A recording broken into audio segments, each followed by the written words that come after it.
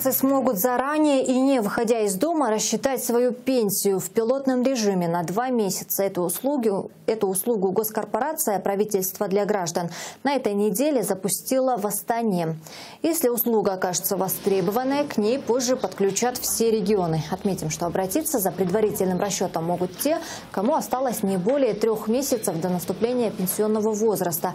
Напомним, сегодня для женщин это 58 лет, для мужчин 63 года года. Чтобы узнать свою будущую пенсию, нужно прийти в бэк-офисы расчетного центра социальных выплат, либо направить необходимые документы на электронный адрес госкорпорации. Информация поступит в онлайн-режиме за три дня, а при личном обращении в офис в тот же день.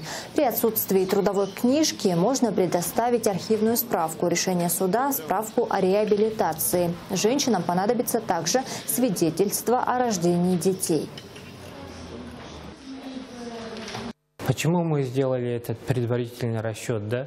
Э, Чтобы заранее посмотреть все эти документы, то, что подается для назначения пенсии, для назначения пенсии и до наступления пенсионного возраста привести соответствие, привести соответствие э, документов получателей пенсии по возрасту.